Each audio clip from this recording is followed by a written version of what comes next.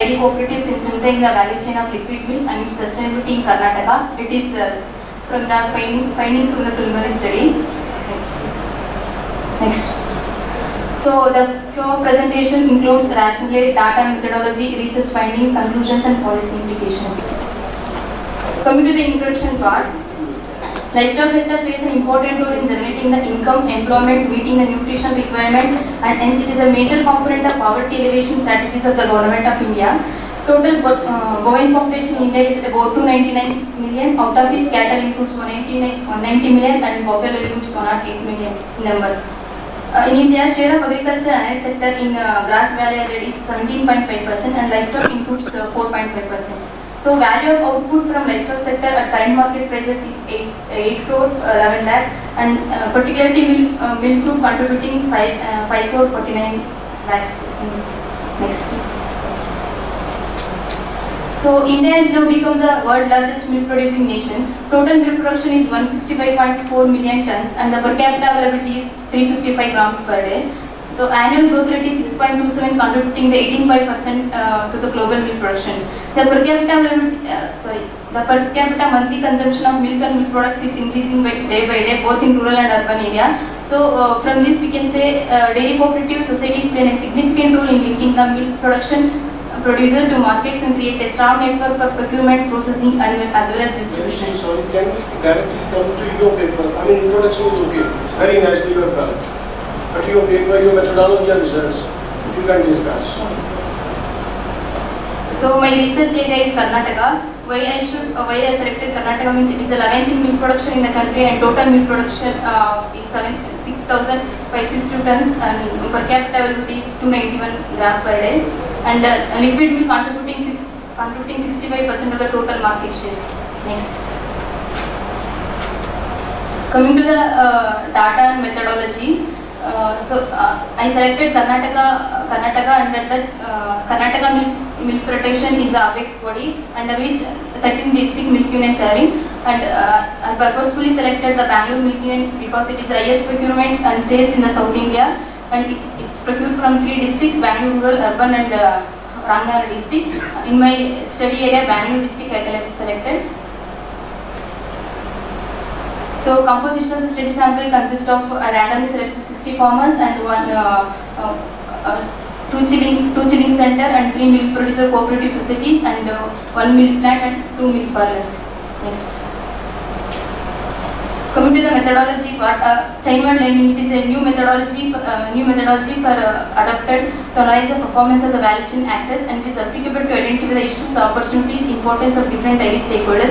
It is called a multi-stakeholder, multi-stakeholder process because it gives a snapshot of the scenario in understanding how different policies and institutions play an important role in strengthening the and improve the sustainability, sustainability of the value chain actors. So this is the flowchart or analytical framework shows how the value uh, chain-wide learning methodology we can apply to in order to map the value chain. Next. Coming to the research findings, I already told value chain uh, chain-wide learning is a methodology used I use to map the value chain.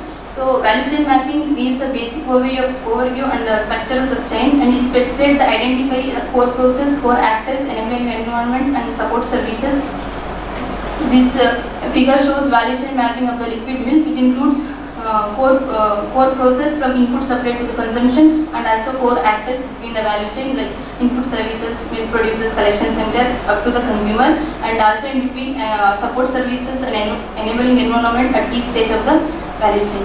Slide. So this table shows the average uh, herd size, average herd size of the farmers based on the standard animal use is 4.2 and average milk yield per day is uh, between 13 to 14 liters per day and average land loading is in uh, study area is 2.5 acre. Most of the farmers are small and marginal farmers. Coming to the milk producer cooperative society which are located at the village level and which are responsible for the procurement of milk from the uh, uh, members, farmer member and it is also supplying the uh, feed fodder and su- uh, support services to the member farmer. So I selected three uh, villages based on their procurement level like high, medium and low, low level. Next. This is a Bamul at a class uh, Bangalore Milk Union Limited, uh, at, which is located at district level. This figure shows the installed capacity and procurement uh, procurement per day. We can see the uh, Bangalore Milk Union procuring about 13.2 lakh liters per day, which uh, uh, it includes chilling centers uh, seven and different procurement capacity. Next. This is also shows procurement and input uh, figures and also marketing and sales. Next.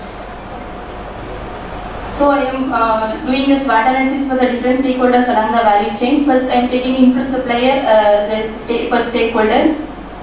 Here, I am studying strength, weakness, opportunities, and threats. Strength, coming to the strength part, farmers depend on both cooperative sector, uh, private sector, uh, especially uh, cooperative sector providing the feed fodder at the subsidized rate. Weaknesses like milk productivity depends upon quality of input services. Some farmers are facing the difficulty to assess the milk price.